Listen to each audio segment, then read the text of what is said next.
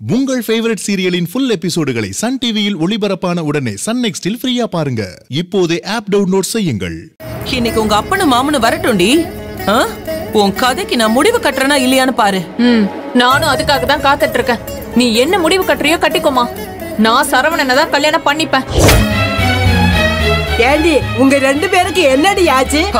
ஏன் இப்படி வாழ் வாழுன்னு கத்திட்டு இருக்கீங்க? ஆ? உங்க பேத்திக்கு சாப்பிட்ட சாப்பாடு ஜீரணம் ஆகலையாம். அதுக்கு என்ன பண்ணணும்னு கேக்குறா.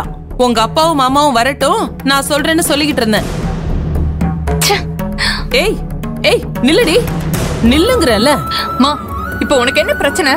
ஏன் தேவையில்லாம கத்திட்டு இருக்க? யாரு? நான் தேவையில்லாம கத்திக்கிட்டு இருக்கேனா?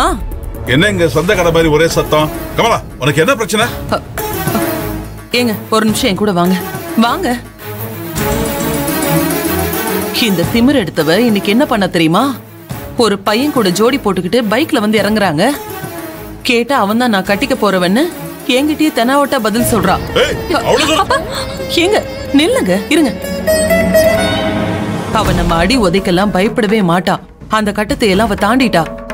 இனிமே நாம கோவப்பட்டோம்னா பதிலுக்கு அவளும் எகிருவா. அப்புறம் நம்ம மான மரியாதை தான் போகும். இத நாம கொஞ்சம் விட்டு தான் பிடிக்கணும். கோவப்படாம நம்ம முடிவை தெள்ள தெளிவா சொல்லிடுங்க. வாங்க.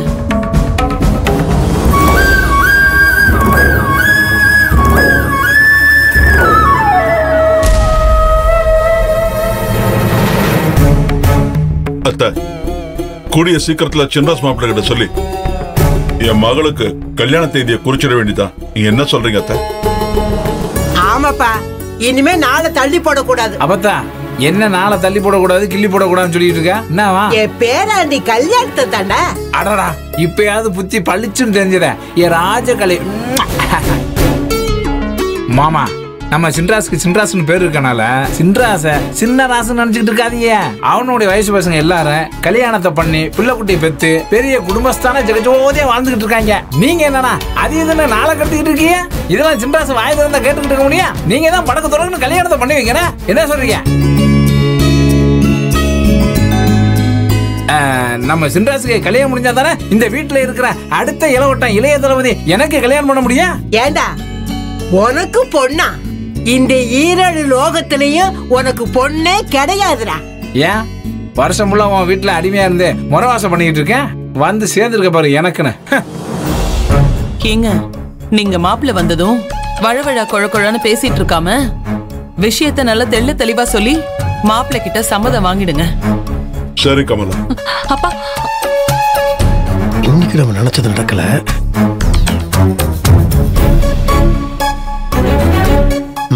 நாளைக்கு முயற்சி பண்ணுவோம். சின்ராசு என்னப்பா? எதைய நினைச்சு புலம்பிக்கிட்டே போற என்னவா? ஏ லூசு. என்ன மாப்பிள்ள என்னாச்சு உனக்கு? அது ஒண்ணும் இல்லை மாமா அவன் கிறுக்க மாதிரி பேசிடுவான் மாமா. பாத்தீங்களா? உங்க மாப்பிள்ளை எப்படி வைக்கப்படுறான்னு எல்லாம் எதுக்கு? கல்யாணத்துக்கு தான்?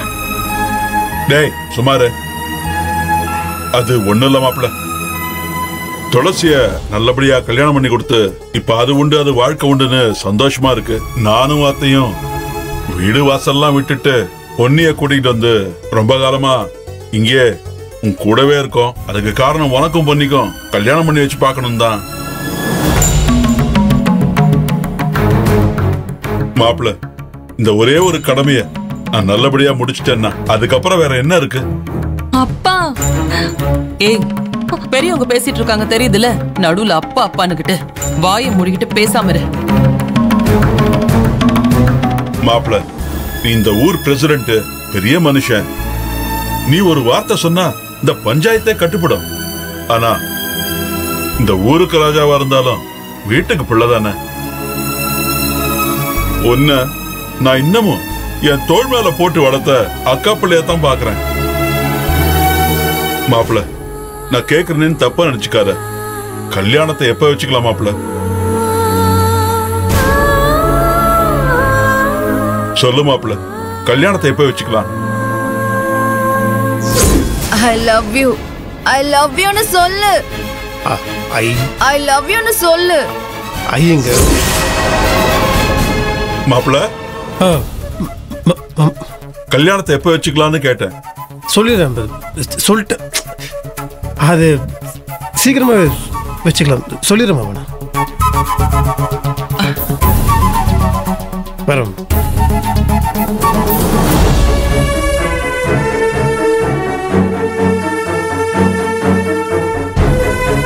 ஏங்க மாப்பிள்ளையே வாய் விட்டு சரின்னு சொல்லிட்டாரு.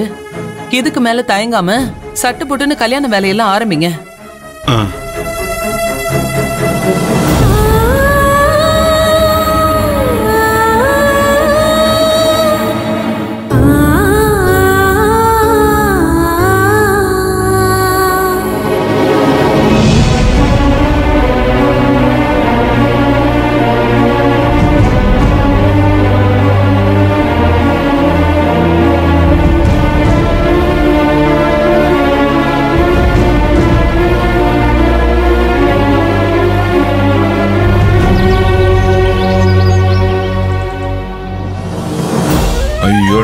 சீக்கிரம் ரெடி பண்ணுமே.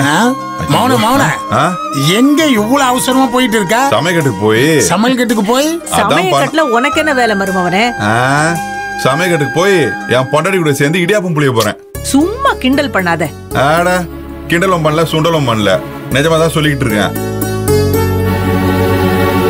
நீங்க எல்லாம் நல்லா ருசியா வக்கனையா சாப்பிடுறதுக்காக என் பொண்டாட்டி இடியாப்பமும் பாயாவும் செய்யறதுக்கு போனான் பாவம் புள்ளத்தாச்சி பொண்ணு. அவ ஒருத்தியே இத்தனை பேருக்கு இடியாப்பம் புழிய முடியுமா? அதுக்காக தான் கூட உதவி செய்ய போறேன். மாமா மாமா. என்ன விஷயம் ஆம்பளைங்க இந்த வேலையெல்லாம் பார்க்க கூடாது மாமா? அப்படியா? ஆமா மருமவனே. நாங்க இத்தனை பொம்பளைங்க இருக்கோம்ல. ஆ, துளசி கண்ணை நாங்க அப்படி ஒண்டியா கஷ்டப்பட விட்டுருவோமா? இந்த ஊருக்குள்ள நீ எவ்வளவு செல்வாக்கான மனுஷனா வரப்போற? நீ போய் இடியாப்பம் புடியறதாவது சேச்சே. அத்த நான் தெரியாம தான் கேக்குறேன்.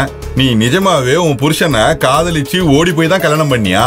என்ன மருமவனே திடுதிப்புன்னு இப்படி ஒரு கேள்வி கேட்டுட்ட? பின்ன உன்னெல்லாம் பார்த்தா காதலிச்ச ஆளு மாதிரிலாம் தெரியலையே. வெளியில ஆம்பளைக்கு இன்னதான் செல்வாக்கு இருந்தாலுமே